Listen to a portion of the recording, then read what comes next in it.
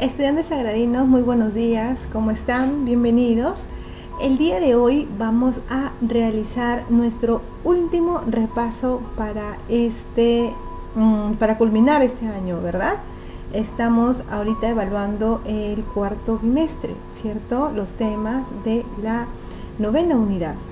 Bien, el día de hoy es viernes 18 de diciembre del presente año 2020. Vamos a iniciar el repaso para dar con éxito nuestra evaluación de comunicación. Muy bien, para esta oportunidad vamos a evaluar dos temas, ¿ya? Este tema, ya que ustedes ya lo manejan, yo sé que sí, bien, el día de hoy va a ser evaluado, el cual es enunciado, sujeto y su estructura. También vamos a evaluar un tema de gramática, que es el uso de C, S y Z. Yo sé que ustedes lo manejan muy bien y aparte que han estudiado, se han preparado, yo lo sé. Pero igual vamos a eh, reforzar esos temitas para que ustedes salgan muy exitosos en su evaluación. Bien, empezamos. Como les dije, uno de los temas que vamos a mm, evaluar es el enunciado, sujeto y su estructura. El enunciado. ¿Qué es el enunciado? El enunciado es la unidad mínima de comunicación. Ya es la unidad mínima por la cual yo me comunico. Es, también es definida como la palabra o conjunto de palabras que comunican una idea. El enunciado está dividido en dos clases. Puede ser una frase u otra, también puede ser una oración. Pero, ¿cuál es la diferencia entre la frase y oración? Ya, eso ustedes ya lo saben, ¿cierto? La frase es aquella que no tiene sentido completo. La oración sí. La frase carece de verso. La oración tiene verso. La frase no puede dividirse en sujeto y predicado. La oración sí puede dividirse. Ejemplo de frase, un día soleado. Y ejemplo de oración, Ana toma café. Como podrán ver, Ana toma café tiene sentido completo. Presenta verbo sí y puede dividirse en sujeto y predicado. Esta es la oración.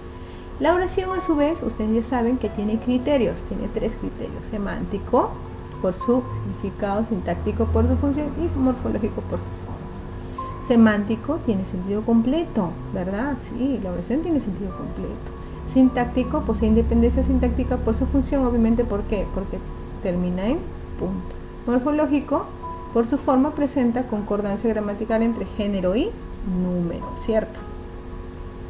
Muy bien, ahora, según su criterio semántico, las oraciones pueden ser enunciativas, estas a su vez pueden ser afirmativas o negativas, pueden ser interrogativas, exclamativas, imperativas, ¿cierto? Afirmativas o negativas, desiderativas, dubitativas y exhortativas saben, enunciativas son cuando se enuncia algo, interrogativas cuando se pregunta, exclamativas cuando se entre signos de exclamación, imperativas cuando es una orden o mandato, desiderativas cuando expresa un deseo, dubitativas duda y exhortativas un pedido, ¿ya? Un ruego.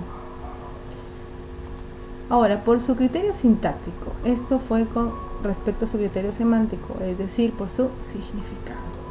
Según su criterio sintáctico, es decir, por su función, las oraciones pueden ser unimembres o bimembres, uni, uno, bi, dos, ¿ya? Unimembres eh, son aquellas oraciones que no se pueden dividir en sujeto y predicado, ¿ya?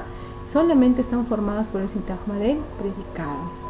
Y las bimembres son aquellas que sí podemos dividir, bi, dos, se pueden dividir en sujeto y predicado, obviamente están formadas por dos sintagmas, ya elementos o sintagmas que son el sujeto y el predicado.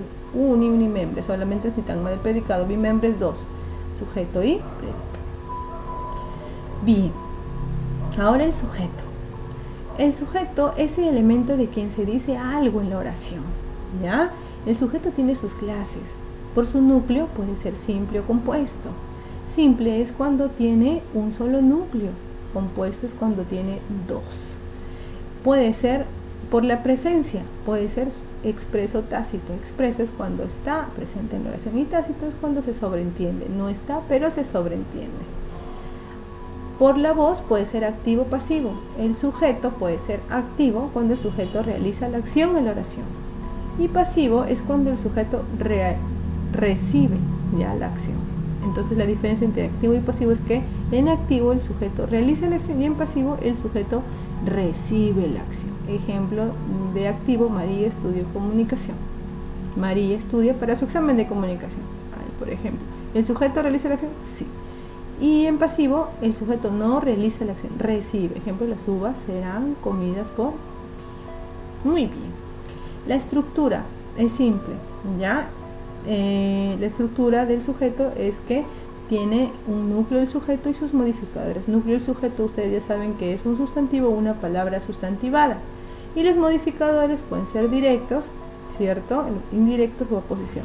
Directo es cuando están aquí todos los determinantes, ¿cierto? Puede ser artículo, posesivo, numeral, definido, ¿cierto? Ustedes ya conocen esas categorías gramaticales. También puede ser incluso un adjetivo. Modificador indirecto es cuando se rompe, ¿ya? Eh, al costadito de la, del NS, del núcleo del sujeto, hay una preposición. En su gran mayoría es de. Cuando tú ves ese de, ya dentro del sujeto obviamente, ya, entonces ahí es un modificador indirecto. Directo es cuando está justo al ladito la palabra, ya, él en este caso es un artículo modificado directo, inca, ya también es un modificador directo. Y la aposición. La aposición es aquella que complementa al NS. Ya puede ser explicativo especificativa. Explicativa es cuando va entre comas y especificativa es cuando especifica el NS. ¿Ya? Le da una información adicional especificativa del núcleo del sujeto. Muy bien, yo creo que hasta ahí se ha entendido, ¿cierto? Este temita. Ahora vamos con el otro tema de uso de C, S y Z. Ustedes ya saben de que em, tanto para el uso de C como de S y como de Z hay reglas, ¿verdad? y estas reglitas ya las hemos estudiado. El uso de C tiene cinco reglas, la de S también y la de Z también. Para el uso de C las reglas. La primera regla es que utilizamos siempre C en las palabras terminadas en cito, cita, osillo o silla. Ejemplo, ratoncito, piedrecilla. La regla número 2 es para los plurales cuyo singular termina en Z. Ejemplo, capaz. En singular termina en Z. En plural, capaces. Se escribe C. La regla 3 es para las palabras que terminan en cial, ejemplo social. La 4 para las palabras terminadas en sion, siempre se escriben con C, ya que derivan de otros terminados en to, tor, do, dor. Y la regla número 5 es para las palabras que comienzan con cerc, circo o circo. Ya, hasta ahí son las reglas de la C. Ahora para la S. También son cinco reglas y la primera regla es para las palabras que terminen en cis, ejemplo análisis, prótesis, ¿verdad?